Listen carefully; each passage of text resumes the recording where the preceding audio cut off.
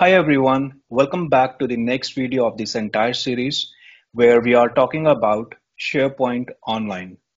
In the last video, we learned how to integrate Power Apps with SharePoint Online. We built an application using SharePoint List. We learned how to customize the application. We learned how to publish the application, how to share the application with users, and how to access a Power Apps application on mobile phone. In this particular video, we will learn how to integrate Microsoft Excel with SharePoint Online. If you want to export data from a SharePoint list, you can click export and you can export this information in Excel file or within a CSV file, or you can export this using Power BI. Let's export this data to Excel. Now, when you export a SharePoint list to Excel file or to CSV file, that data is a static data. That means if I make any changes within this contact list from SharePoint site, these changes will not reflect within this CSV file. So to overcome this situation, we can create a connection between Microsoft Excel and SharePoint Online. So let me open a new window of Microsoft Excel. To connect Microsoft Excel with SharePoint Online, within Excel, you will go to Data tab and you will click Get Data. Now from here, you can select a data source to fetch your data.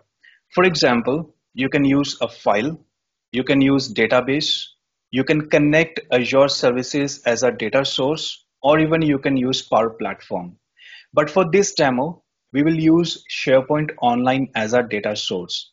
So we will click from online services and here we will select from SharePoint Online list. Under site URL, we will type the URL of the SharePoint site that we want to connect with Microsoft Excel. So we will go back to SharePoint site and from here we can copy the site name.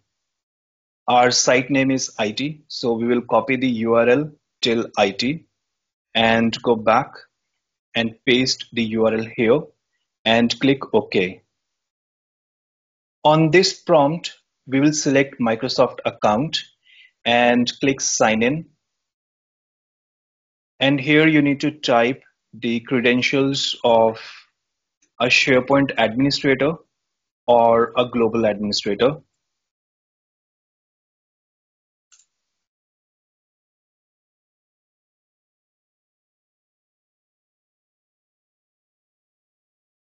and click connect.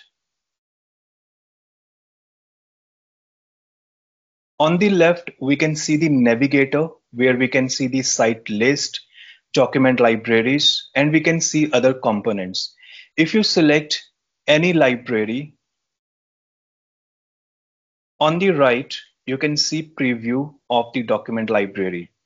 Or if I select, for example, a list, we have a list with name contact list.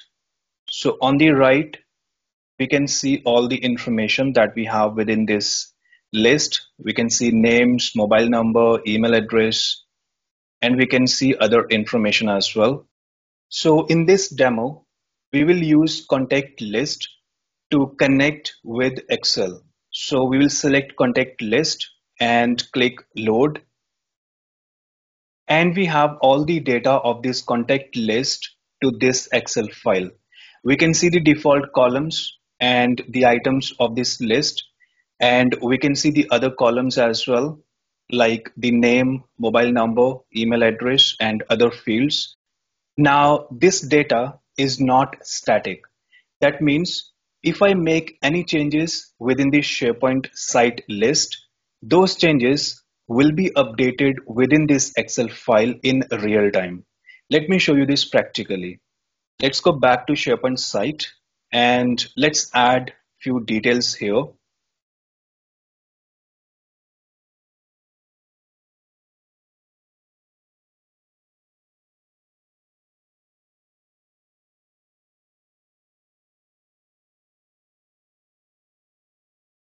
And let's go back to Excel file and click refresh.